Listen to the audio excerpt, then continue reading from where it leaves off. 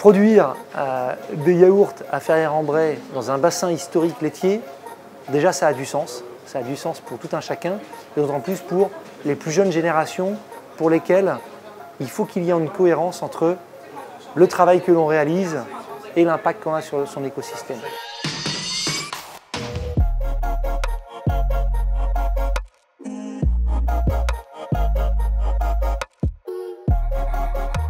Pour moi, la responsabilité d'une entreprise ne s'arrête pas que au mur de l'entreprise.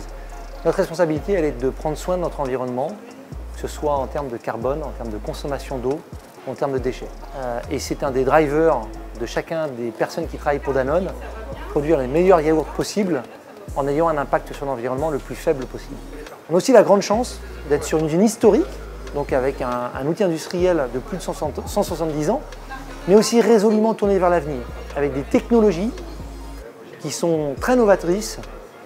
Et notamment, nous avons investi plusieurs euh, dizaines de milliers d'euros dans des outils digitaux qui sont extrêmement intéressants pour les jeunes générations.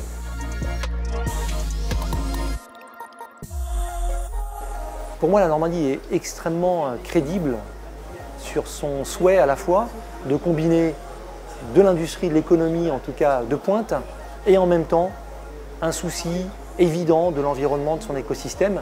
J'ai la conviction qu'on va dans, la bonne direction en termes de solidarité dans, nos souhaits euh, sur la décarbonation ou euh, le souci de nos matières premières telles que l'eau. Euh, l'exemple symbolique étant le projet de loi qui est en train d'être écrit et sur lequel le territoire normand et les industriels normands, dont l'usine d'un Pays de Bray, ont fortement contribué. C'est grâce à cette action commune qu'on va réussir à faire bouger la réglementation pour que nos industriels soient plus vertueux en termes d'environnement dans les années à venir.